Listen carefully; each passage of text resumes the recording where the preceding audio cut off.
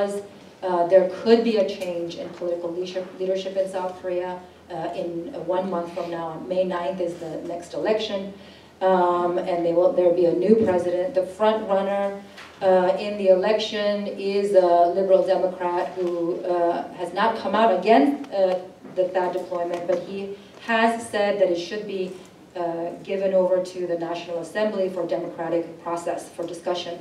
Um, that opens up uh, the possibility of the people on the ground who are fighting it to really pressure, press on their legislators in South Korea to take a position against uh, that and, and, and defeat it. Um, the Pentagon and the South Korean, the current South Korean Defense Ministry obviously know this very well, and that's why they're in such a hurry to finish the deployment before the next election. And that's precisely why the people in Sungju are camped out every day outside the deployment site. In the Bay Area, in LA, now here, and then she's continuing on to cities on the East Coast, to Boston, uh, to New York, Philadelphia, and, and DC. Um, and our hope is to appeal to the peace and anti-war movement um, here to uh, really help us uh, fight. If, if the Pentagon is successful in pushing forward the deployment in the next month, I'm afraid there's really no hope in turning that around. Uh, but if the people in Sungju are able to block it, and then uh, there is a new administration in May, on May 9, then that's a whole different um, uh, different um, story altogether. And there will be an opportunity, more time for us to organize uh, in solidarity to, to, defeat them. So you can um, go to our website, stopthaad.org, um, and on Facebook, actually Will uh, is very active uh, maintaining our um, Facebook page called Stop THAAD um, and uh, look out for updates and ways to um, act in solidarity with the fight in Sungju. My time is up. I was hoping to talk about um, the movement in South Korea, but maybe we can do that in the question and answer period. Thank you.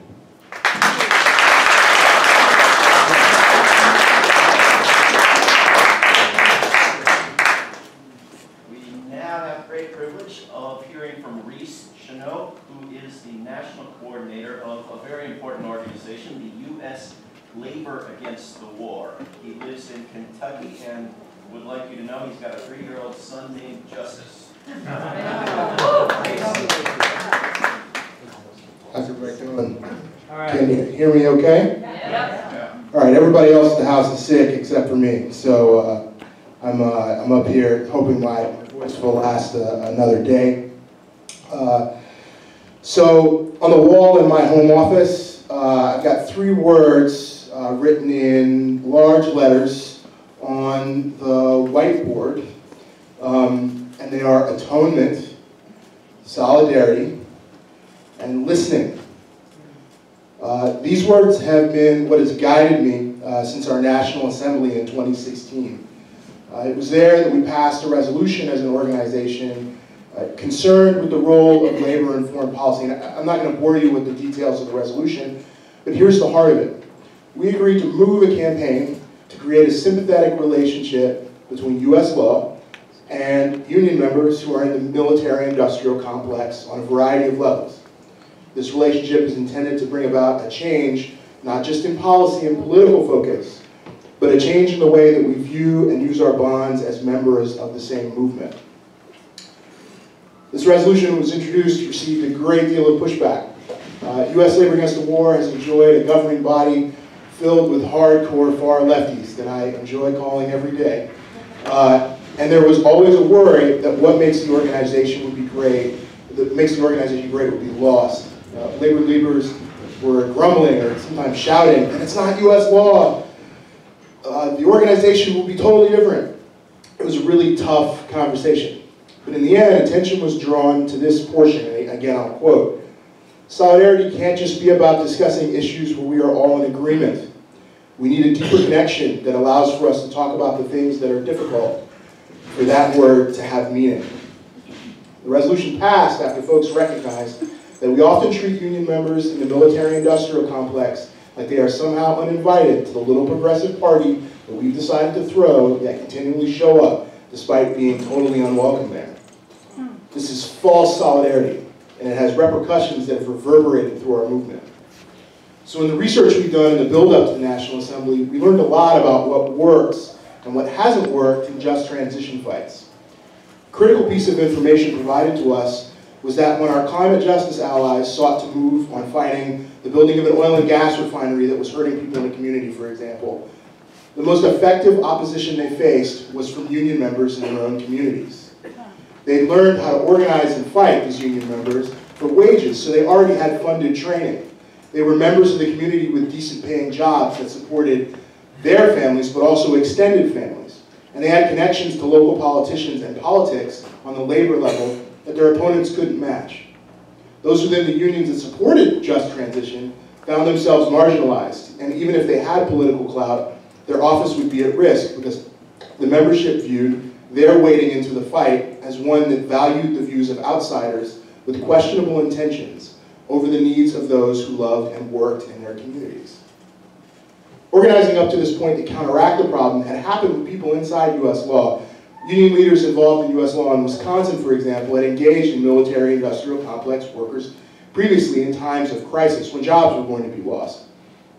And while that seemed like a good point to propose a shift in thinking, it actually failed every time. While many blamed the willingness of the workers, conversations with the organizers actually told us that the root of all of it was a lack of relationships that were strong enough to withstand the pressure politically and personally long enough to build power. It was a stark but fantastic lesson for us about why previous efforts had failed. And so as we move forward, we also needed to be aware that the labor movement is at this very moment experiencing a fracturing around what it means to be in relationship with each other. The building trades unions, standing against Trump in conferences or not, have been working their way away from the rest of us in organized labor for a very long time. Internally, we'd heard reports from members that central labor councils, which are a mechanism for moving larger campaign work that is literally referred to as the heart of the labor movement, cannot meet because building trades unions have withdrawn from active participation in, in many places. Without them, there's no quorum, and so there are no votes that can take place. This sabotage is intentional and having a dramatic effect on progressive work across the country. Even the AFL-CIO, as a national body, isn't immune. Uh, high-level discussions are just as bitter and divisive, and I'm sure people are aware of them. There's been a very public fight over Standing Rock between building trades and basically everybody else in the labor movement. Um, and that really illustrates just how hard of a line is being taken. So when we got started, myself and our national organizer, Tom Gogan, talked a great deal about what the vision would be moving forward. We agreed that through our learning, we should first recognize that the work that has been done up to this point has done little to nothing for our relationships with people who we claim as our brothers and sisters. We needed to be aware of just how vital listening would be and recognize that this is not short blitz-styled campaign work with a tight timeline. Yes. This is long-term work rooted in community. Yes, yes. Tom at one point asked me what the ask should be. I told him that he could put one out if he wanted to, and I would trust his judgment, but I wasn't sure that, what that would be uh, or what it would do. Tom has really strong opinions and ideas, to be sure. But ultimately, I wanted him to concentrate on listening. We had no real relationship anyway, and are not viewed as an authority on any subject matter with most of those workers. So really, the best skills for us to use would be our ability to facilitate conversation. So for today, I'd like to share what we've learned with the caveat, this is, we're just getting started. And these are also my unvarnished thoughts. So I'm happy to clarify or take responsibility for offending people. First, we really need to learn to shut up. When I first started organizing, I was in Mississippi. And what that place taught me was that the 80-20 rule should definitely apply when it comes to organizing conversation around this particular issue.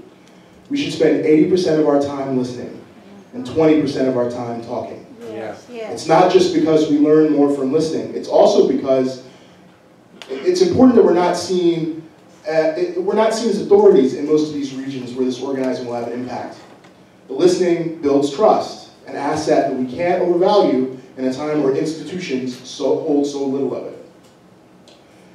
The second is that working people generally support the ideas we espouse and really don't need us to convince them. For the most part, the military industrial complex workers don't want to make weapons. They do it for the money and are happy to do something else. But number three, unless we figure out a clear path to what something else is, we're just silly people without solutions. I'm often dumbfounded by the callous nature of people who support the rights of workers and claim to be on their side, yet are willing to discard those that they see as not on the right side of justice because they chose not to sacrifice their jobs for a nebulous call to quote unquote save the planet by a bunch of people they've never met until just now. This leads me to my final point. Organizing people requires that you see them as your peer. Too often we take the approach of hammering home our ideological viewpoint, thinking that we are educating someone. It leads to a lot of situational ethics and didactic lecturing, which leads someone to rightly believe that you will view them as your lesser.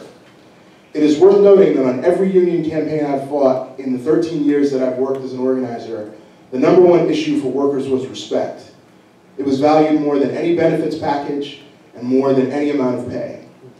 The organizing that we need, that we are called to do, is more in the spirit of Oscar Romero. We need a kind of witnessing or accompanying that leads with love but also with respect and a deep sense of honor. Yes, yes, yes. Leaving that important space empty provides opportunity for the boss to creep in and drive a wedge where unity should be. If we want just transition to be real, we need to have real solidarity with each other. That doesn't just mean having the right plan or having all the answers, but it being prepared for sacrifices to be mutual. For us in USLAW, that has meant extending a hand through discomfort and really wrestling with what this solidarity means. I'm hoping that our learnings can extend past our work and into yours. Thanks.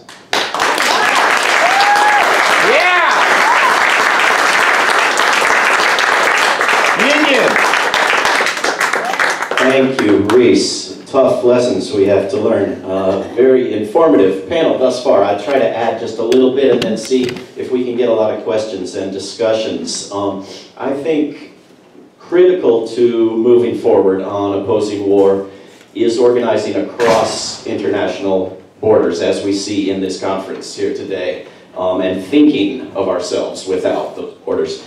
Uh, I, I think working for disarmament is the most important thing to do as we see in this conference here today. You know, which came first, the weapons or the wars? The weapons, there is no question.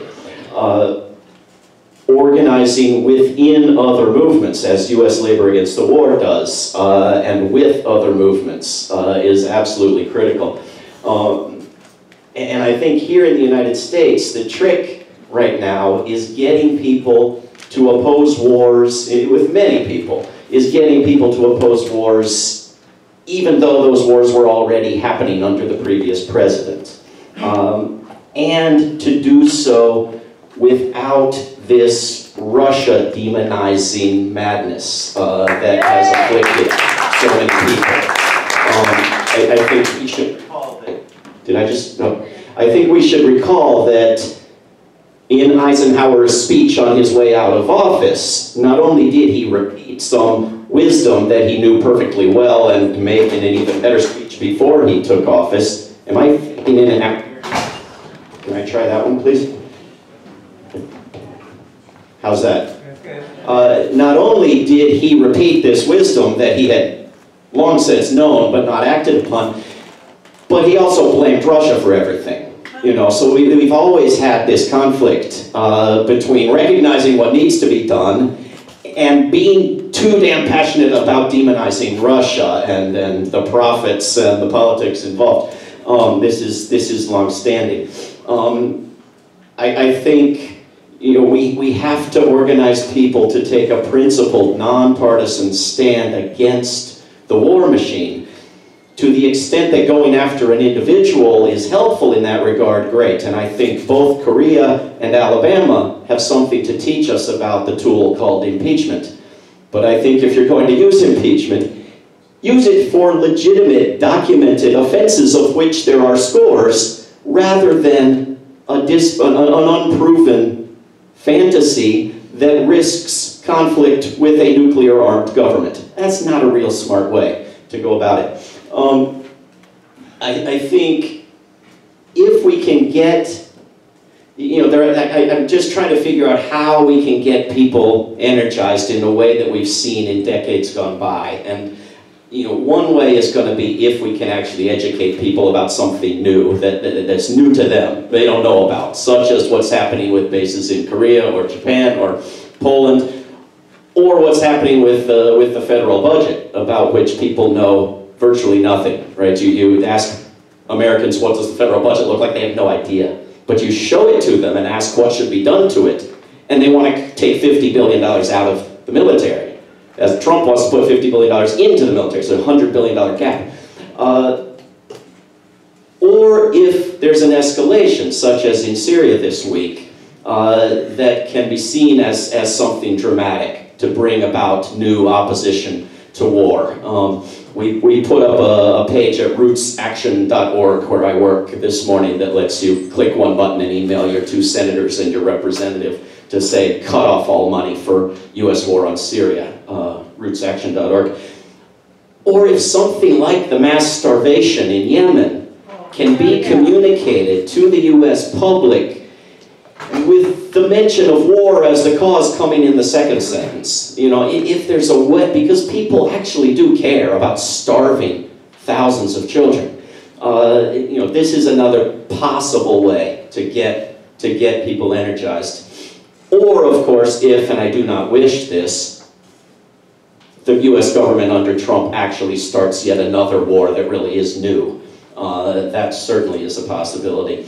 Um, but I think what we, what we need to be demanding is a cutoff of money for the wars, not that Congress vote on the wars and then they're okay, or expresses displeasure with the wars, or oppose this war to be better prepared for other ones. You know, we need an actual switch to diplomacy and aid and conversion. Um, the, uh, the real work we need to do is get people to a, to a principled opposition to militarism, and that means changing the culture so that the, whatever the absurdities were that were encountered in the airport here in Huntsville aren't part of our culture anymore. Uh, and I think a, a lot of what needs to happen is not just getting Republicans and Democrats together, as somebody said, but getting human beings to lose or at least diminish their loyalty to any party. Um, one thing that, that we're working on at World Beyond War, which is the organization I work for, is getting resolutions passed in local governments against this uh, budget proposal. Uh, but I think there are two ways that this is being done, and one is far superior to the other. Uh, you know, the, the way that this budget is being opposed by our top labor officials, by top Congress members, by major organizations in this country, by the Alabama League of Municipalities, by cities passing resolutions like Pittsburgh and Ann Arbor, is to say, don't cut this, don't cut this, don't cut this, don't cut this. Stop. Which creates this opposition that says, no, we love cuts, we want small government, let's save money. A much smarter way is, of course, to communicate that Trump has proposed the exact same size budget as last year, with no cuts in it whatsoever, but moving money from everything good and decent and valuable into the military. And to not tie one hand behind our backs, but to say both of those. To say, move the money from the military to the useful spending instead of the reverse. Uh, you know, not go on as if the, the military doesn't exist.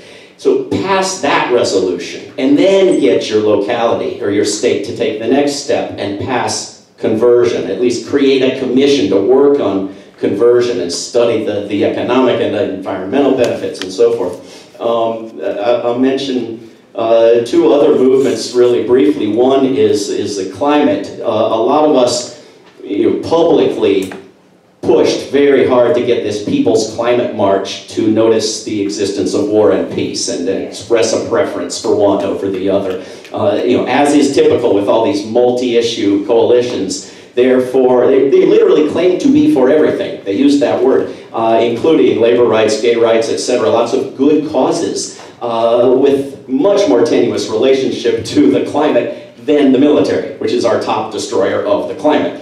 Uh, and, and so we got them to include peace. And there's going to be a peace contingent and a peace rally and a peace march along with other marches that form a larger march and a unified rally at the end. So try to be in Washington on April 29th or to do the same where you are.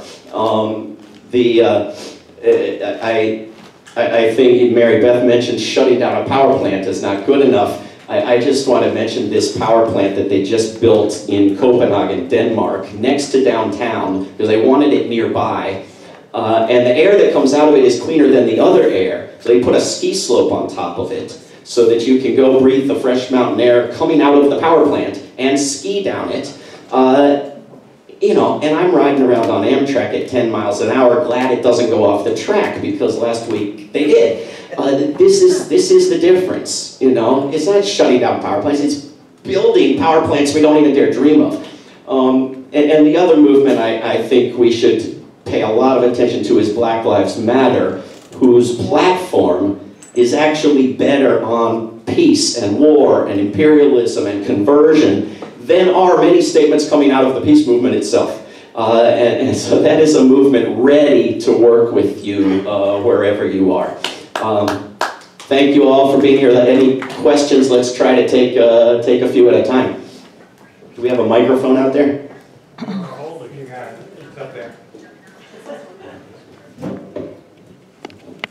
We have a volunteer microphone holder?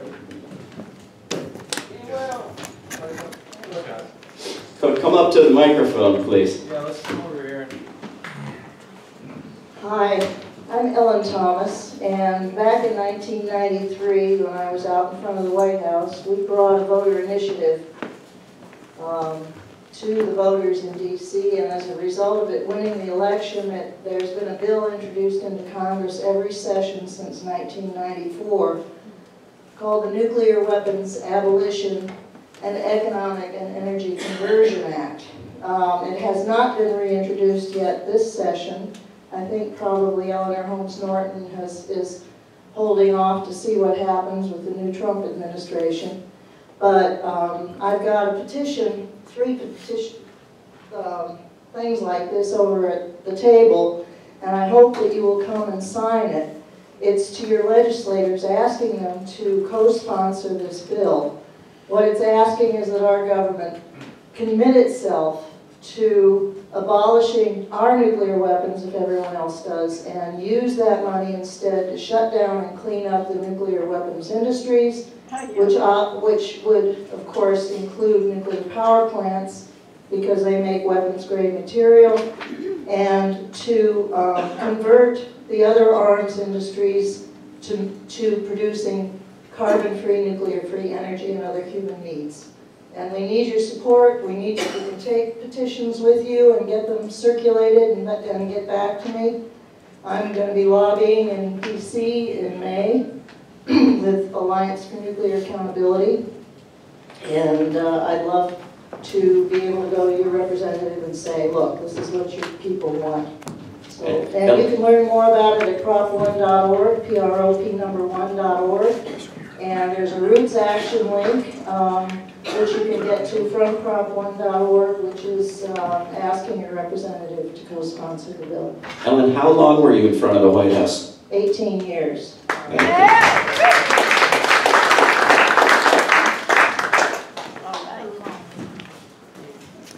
Let's take a few and then try to speak to them.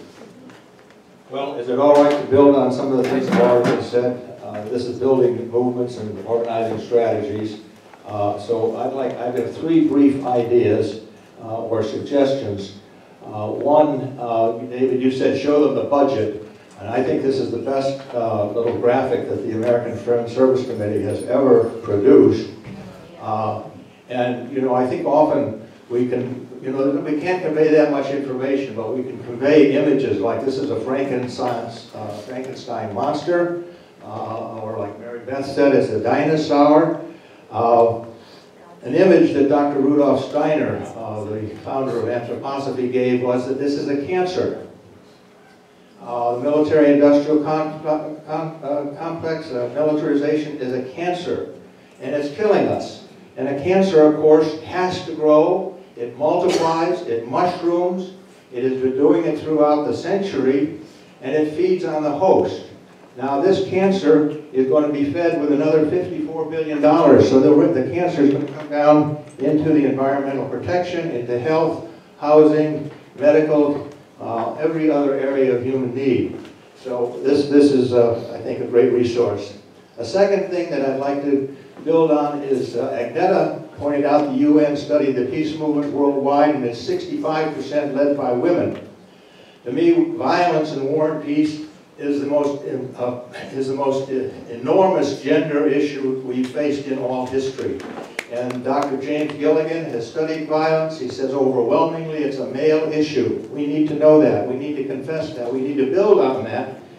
And uh, movements like the Women's Pentagon Action in 1980, the Greenham Women's Common, uh, you know, we, we need to see once again and build and know uh, as men that women will lead and redeem. Yes, I will uh, finish up with one last point, and that is uh, we need to understand that truth is a force. It's invisible. We need to know the truth. Bruce Gagnon tried to get Jim Douglass here, uh, who wrote JFK and the Unspeakable. We need to know the history of our assassinations, and we need to know the force of truth. Because war is a lie, but we need to identify these lies and having successfully carried out the assassination of our four moral leaders in the 60s, the uh, complex was able then to carry out the demolition of the World Trade Center.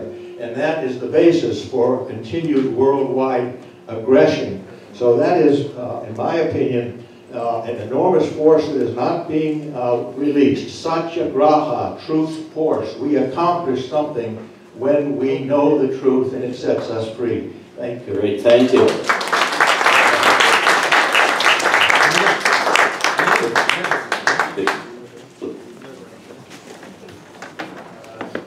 My question to our trade union friend is, uh, see, most of the trade unions in USG are affiliated to APRICO and the ISFG. In principle, these uh, trade unions uh, stand against the continuous US wars and military spending, growing military spending, and the new techniques of uh, war, which is uh, missile defenses and weaponization space, etc. I would like to know, in general, what is the stand of the trade unions take in these uh, issues, and whether there is any uh, national movement of the trade unions on these issues. Do you want to speak to that?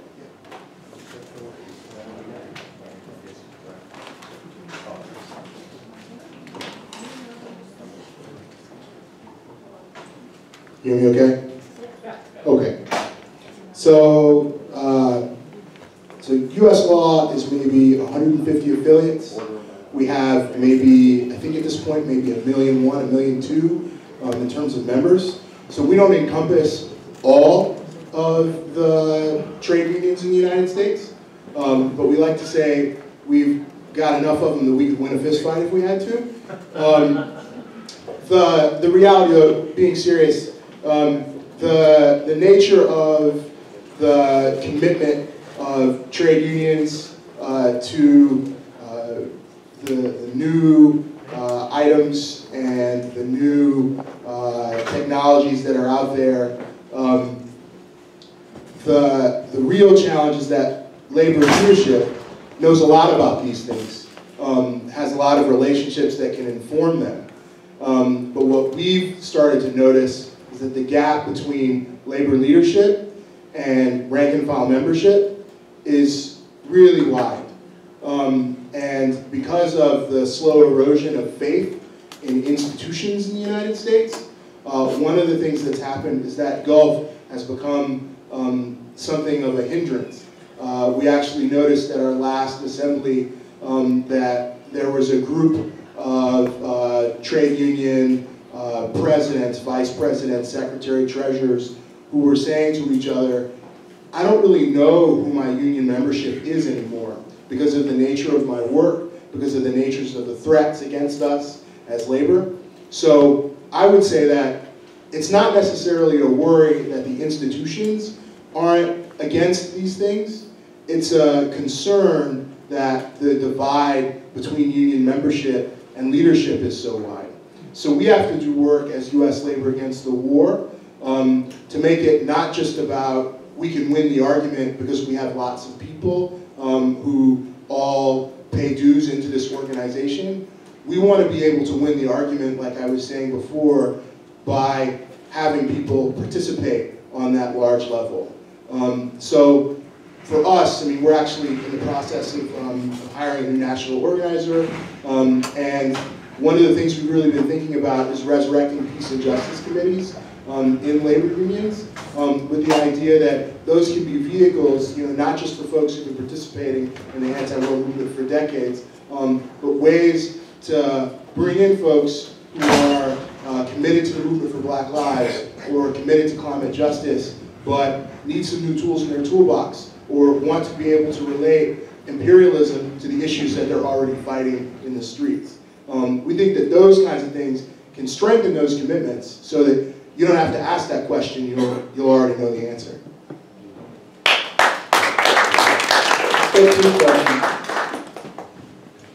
Yeah, this is uh, for Hugh. Uh, Now, we know that there was a lot of mass protests in South Korea uh, against President Park. Uh, the result of that is she got impeached and she's no longer president, and there's new elections coming. Well, What is the possibility, because everybody right now is concentrating on the elections, after the election, what's the the strong possibility of mass protests, just like they did for, against Park, to, against that and against the U.S. military being on Korean soil? Let's get another question in real quick. Well, just a couple of things. Besides being a lifelong uh, anti-war activist, I'm also a lifelong union member and a member of a progressive um, uh, labor council that has passed a strong resolution against war and actually funded me to go to Pakistan to be part of a um, contingent that was fighting drones uh, that was there. So I do agree with you that when I talk to individual members, union members, they're almost overwhelmingly 100% against war. Um, it's a difference between the leadership and the union membership, and I think any organization has to, that's go, that wants to see that has to understand that and, and, and talk to them. Um, but what I want to say is it's really difficult to try to figure out strategies and tactics for the anti-war movement. We've all been batting our heads against the wall for a real long time, and it's because of the array of stuff that's lined up against us. You know, they have all the money, we have no money. They have all the media, we have no media. Um, they, they have the two parties, we don't have parties. And I think that's an important point. David made that point. We have to stay independent of those parties. I think the election of Obama helped destroy our movement because we were not independent. And actually saw that happen with labor against the war also. You know, when the Republicans in, a lot of unions were given money to labor against war. When the Democrats were in, they stopped giving that money and it became very, very difficult. I think, even though they have all those things, we have one thing in our favor, and that's that war is against the interest of humanity. So we have the potential to mobilize the people of the world against war. And that's a much stronger weapon than all the stuff that they have, that people, people power. And so our tactics and our strategy have to look towards doing that. And now, for the first time in a number of years, we have that potential. This march on April 29th is going to be huge, like the Women's March was, and we're going to have a peace contingent. It took some of us time to fight, fight for that, but we, we did, and now's the time to build it. Um, yesterday, 24 hours after the bombing of Syria, my organization alone got notice of demonstrations in 53 cities around the country. And today, as I'm looking through my email, they're coming in over and over and over again. During this period where people are willing to go out in the streets and protest against Trump, it's not as easy to get them to protest against the war because war is a bipartisan pro um,